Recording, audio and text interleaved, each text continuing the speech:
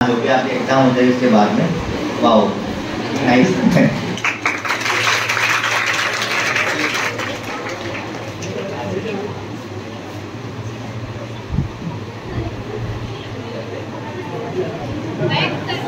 video बनना अच्छा video बनता हो तो बनाऊँगी